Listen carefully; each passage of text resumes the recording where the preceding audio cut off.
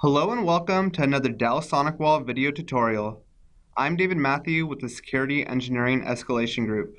In this video, we will be discussing the SonicPoint ACE, ACI, and N2 access points and how to manage them with a Dell SonicWall TZ series product. The topics covered will be about the management of SonicPoint's ACE, ACI, and N2 with Dell SonicWall TZ products. In the end of this video, we will discuss how to manage a SonicPoint with a TZ300. However, the process is the same for the TZ400, 500, and 600. Here we have the SonicPoint ACE, ACI, and N2 access point series. On the other side of the SonicPoints are its access ports. There are two Ethernet ports, LAN 1 and LAN 2, and a console port. This is your supplied Power over Ethernet injector. The Power over Ethernet injector is capable of providing 25 watts of power. The port on the left is your data and power out port. This is the port that you will connect to your SonicPoint LAN 1 Power over Ethernet port. The port on the right is your data in port. This is a port that you could connect to your SonicWall WLAN X2 port. In most cases, Customers will use this Power over Ethernet injector to power their device.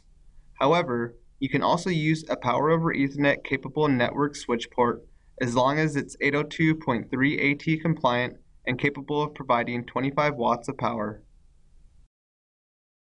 This is a Dell SonicWall TZ series. It consists of the TZ300, 400, 500, and 600. Here's an overview of the TZ series ports for each product. The X0 port is assigned to LAN and the X1 port is assigned to WAN. Some products have more ports than others, but each product is functionally the same. Now we'll be discussing setting up a TZ series product with a SonicPoint.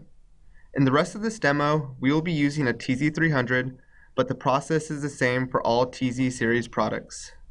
So here the Dell SonicWall TZ300 has been initialized by the setup wizard. The setup wizard automatically assigns ports X3 and X4 to the X0 LAN port shield group.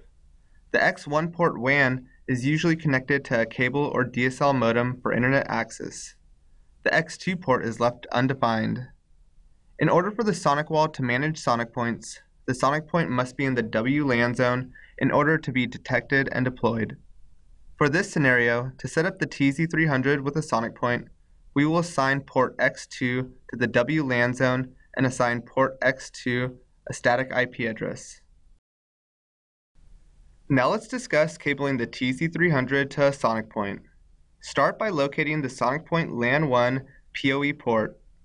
Connect the LAN 1 port to the supplied PoE injector port on the left labeled Data and Power Out. Now locate the SonicWall WLAN X2 port and connect it to the PoE injector port on the right labeled Data In. As mentioned earlier, a PoE network capable switch can be used as an alternative for the PoE injector that is supplied with your device as long as it is 802.3 AT compliant. Now let's look at a TZ300 managing a SonicPoint walkthrough. We have just initialized a Dell SonicWall TZ300 with the setup wizard. Next, we will configure the TZ300 for a SonicPoint. Here at the network interfaces, the X2 port is not assigned to any zone. For this demo, we will assign the X2 port to the WLAN zone and assign it the private IP address of 172.16.31.1. We will accept the other default settings and click OK. Here we have connected the SonicPoint ACE to the X2 WLAN port. The SonicPoint has been auto-detected and deployed. To learn more about Dell SonicWall security products, visit dellsoftware.com slash solutions slash network hyphen security. For more videos, visit dellsoftware.com slash support. I hope this video has been helpful. Thank you for watching.